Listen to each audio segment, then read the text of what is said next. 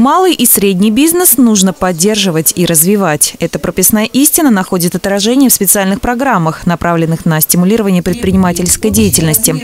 О возможностях субсидирования шла речь на семинаре, организованном консультационно-информационным центром развития предпринимательства совместно с Общественной палатой Одинцовского района. У нас в середине августа была утверждена программа и по субсидированию субъектов малого предпринимательства их затрат из бюджета Московской области.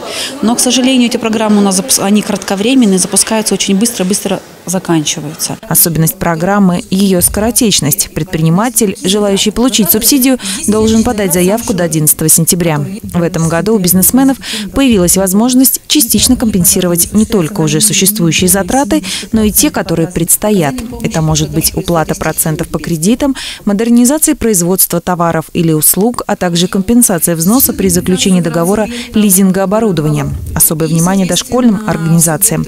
В отличие от предыдущих программ, в этот раз образовательные центры, а также предприниматели, осуществляющие уход и присмотр за детьми, могут получить субсидию на затраты даже при отсутствии соответствующей лицензии. Не предоставляются субсидии именно по этой программе кредитным организациям, а, и горный бизнес, являющийся участником соглашений о разделе продукции – а также в отношении которых ранее было принято решение предоставления аналогичной субсидии и сроки ее оказания не истекли. Специальный гость семинара, бизнес-тренер Константин Колобов, раскрыл собравшимся секреты эффективной рекламы. Организаторы семинара также напомнили участникам, что помимо областной существует и районная программа субсидирования.